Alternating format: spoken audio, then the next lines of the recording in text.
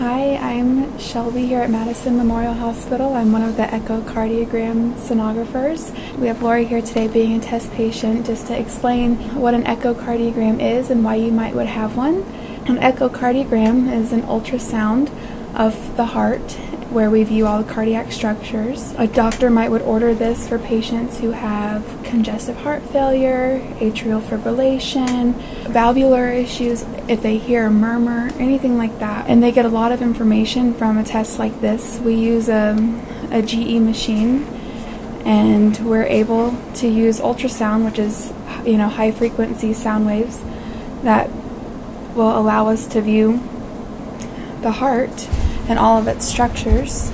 It's pretty comfortable test from a patient standpoint. No radiation. The patient is usually lying on their left side while we take images from a few different spots on the patient's chest. Main thing we look for is we look to see how well the left ventricle is contracting, which is the main pumping chamber of the heart.